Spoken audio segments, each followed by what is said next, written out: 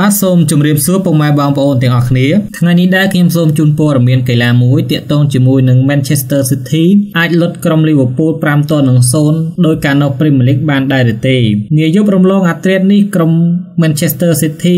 នឹងបើកកីឡដ្ឋានរបស់ខ្លួនដើម្បីទទួលក្រុមហង្សក្រហម Liverpool ក្នុងជំនួបជើងទី2នៃ Champions League វគ្គ8ក្រុមចុងក្រោយខណៈដែលជើងទី1កន្លងមក Liverpool បានលុត Manchester City ដោយលទ្ធផល3ទល់នឹង0មិនឲ្យតដៃរួចយ៉ាងណាមិញសម្រាប់ការប្រកួតជើងទី2នេះវិញក្រុម Manchester City ហាក់ដូចជាពិបាកក្នុងការឆក់ឱកាសឡើងទៅវគ្គបន្តទៀតប្រសិនបើពួកគេមិនអាចយកឈ្នះក្រុម Liverpool ចាប់ពី4គ្រាប់ឡើងទៅឬក៏បញ្ចប់នាទី90លុត Liverpool 3ទល់នឹង0ដើម្បីបន្តមកបន្ថែមទេនោះ Manchester City ត្រូវប្រឹងឲ្យអស់ពីសមត្ថភាពក្នុងការប្រកួតនេះដោយមិនលាក់ជើងកីឡាកររូបណាទៀតឡើយព្រោះវាជាឱកាសចុងក្រោយសម្រាប់ពួកគេក្នុងការបន្តក្តីសង្ឃឹមនៅ Champions League ទៀតអ្វីដែលជាសង្ឃអ្វីជាក្តីសង្ឃឹមរបស់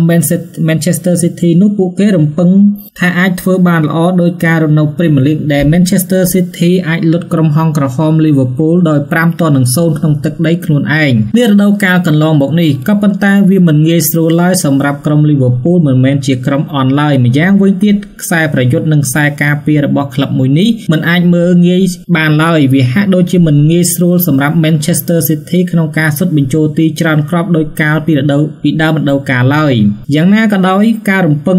មើលការប្រកួតយប់នេះ Manchester City ច្បាស់ណាស់នឹងប្រើប្រាស់ប្រព័ន្ធវៃលុកខ្លាំងក្លាតាមដែលអាចធ្វើទៅបានដើម្បីរកគ្រាប់បាល់បញ្ចូលទីខណៈដែលក្រុមហង្សក្រហម Liverpool វិញអាចនឹងលេងការពារច្រើនហើយចាំឆ្មក់ម្ដងម្ដង ទៅវិញដើម្បីវៃលុកម្ដងខណៈចាំមើលបាល់ដាច់មាត់តែម្ដងនេះបាទសូមអរគុណសម្រាប់ការតាមដាននៅព័ត៌មានរបស់យើងខ្ញុំ